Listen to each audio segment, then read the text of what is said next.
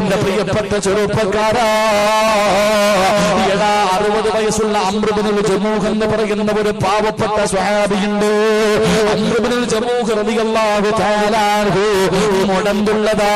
ഒരു കാലിൽ മുടന്താണ്. അറുപത് വയസ്സ് പ്രായമായി.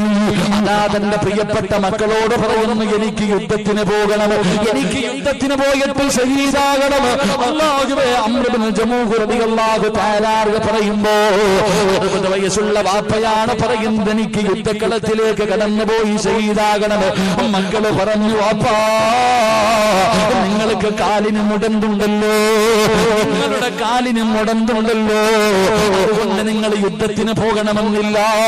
മക്കൾ വാപ്പയ്ക്ക് സമ്മതം കൊടുക്കാതെ വന്നപ്പോ ഇതാ റസൂലില്ല അള്ളാഹുവിന്റെ പ്രവാചകന്റെ മുന്നിലേക്ക് കിടന്നു ചെല്ലുകയാ. യാ റസൂലല്ലാ അള്ളാന്റെ നബിയേ.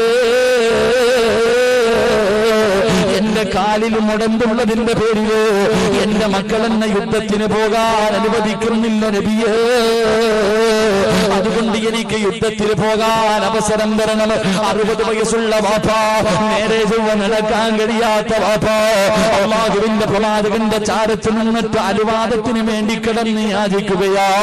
മോനെ കറങ്ങാൻ പോകാനല്ല ഗൾഫിൽ പോകാനല്ലോ ന്യൂഇയർ ആഘോഷിക്കാനല്ലോ ക്രിസ്മസ് ആഘോഷിക്കാനല്ലോ രണാങ്കണത്തിലേക്ക് കടന്നു ചെന്നിട്ട് അള്ളാഹുവിന്റെ ദീനിന് വേണ്ടി പോരാടിയിട്ട് വീരവൃത്തം ഭരിച്ചിട്ട് പടച്ചറപ്പിന്റെ അനുഗ്രഹങ്ങൾ കൊണ്ട് നിറച്ച സ്വർഗത്തിലേക്ക് പച്ചപ്പറവയെ പോലെ പറന്നു പോകാറുള്ള കൊടി കൊണ്ട് എഴുപത് പേരെ സ്വർഗത്തിൽ കൊണ്ടുപോകാറുള്ള മോഹം കൊണ്ട് ഒന്നാമത്തെ തുള്ളി രക്തം ഭൂമിയിൽ വീഴുമ്പോഴേ ചെയ്തു പോയ പാപങ്ങൾ നമുക്ക് കഴുകിക്കളയുകയോ നാളെ കബറിന്റെ അകത്ത് നിന്ന് എഴുന്നേറ്റ് വരുമ്പോ രക്തമൊലിപ്പിച്ചുകൊണ്ട് പടച്ചറപ്പിന്റെ കോടതിയിലേക്ക് കടന്നു വരുമ്പോ അള്ളാഹു ചോദിക്കുന്നു നിനക്ക് ഞാൻ തന്നെ ആയുസന്തിന് വേണ്ടി ചിലവഴിച്ചു എന്ന് ചോദിക്കുമ്പോ അള്ളാഹുവേ എന്റെ കുടുംബം നിനക്ക് വേണ്ടി തന്നു തമ്പുരാര് എന്റെ കൈ കൊടുത്ത് പടച്ചവര് എന്റെ കാൽ കൊടുത്ത് പടച്ചവര് എന്റെ ജീവിതം കൊടുത്ത് പടച്ചവര് എന്ന് പറയാനുള്ള കൊതി കൊണ്ടാണ് നബിയേ.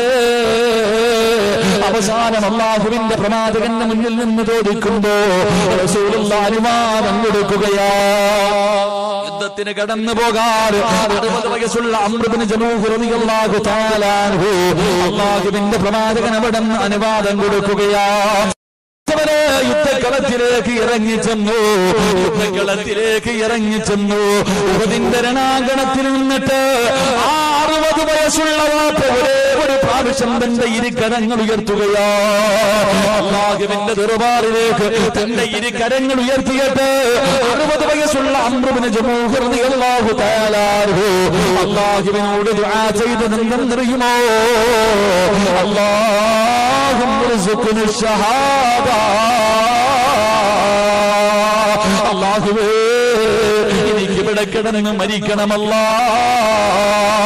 എന്നെ വീട്ടിലേക്ക് മടക്കല്ലേ അല്ല. എന്നെ വീട്ടിലേക്ക് മടക്കല്ലേ അല്ല. എന്റെ മയ്യത്ത് വേണം ഇവിടെ നിന്ന് കൊണ്ടിറങ്ങാ ഇനി ആരുടെ മണ്ണിന്റെ കത്താണ് കൊണ്ടുവെക്കേണ്ടത്? ഒരേ ഒരു വാക്കേ പറഞ്ഞുള്ളൂ. ഇഖ്ലാസോടുകൂടി അള്ളാഹുവിനോട് ആത്മാർത്ഥമായിട്ട് ആരണാങ്കണത്തിൽ നിന്നിട്ട് ഒരേ ഒരു വാക്ക് പറഞ്ഞു. അള്ളാഹും ഷഹാദ. എനിക്ക് നീ ഷഹീദാവാൻ ഭാഗ്യമ തരണേ അല്ലാ ഇറങ്ങിപ്പോയടാ യഥാ ഉഗതിന്റെ രണാകടത്തിലേക്ക് കടന്നുപോയി. അവിടുത്തെ ജനാസയാ കൊണ്ടുവന്നത്. എന്റെ മോനെ ഇഹലാസോടുകൂടിയുള്ള ഒരു വാക്ക് മതികളോ അള്ളാഹുവേ പടച്ചവനെ ഒരുപാട് ഗ്രൂപ്പുകൾ വാഴ്ന്ന് അള്ളാഹുവേ ജനങ്ങളിലേക്ക് എത്തിക്കുന്ന ഒരുപാട് മക്കളുണ്ട്. നിന്റെ തൃപ്തിയല്ലാതെ ഒന്നും അവർക്ക് വേണ്ട. അർഹമായ പ്രതിഫലം കൊടുക്കണേ അല്ലാ. അർഹമായ പ്രതിഫലം കൊടുക്കണേ അല്ലാ. ഞങ്ങളെ സ്വർഗത്തിലെ കൂട്ടുകാരിൽ പെടുത്തണേ അല്ലാ.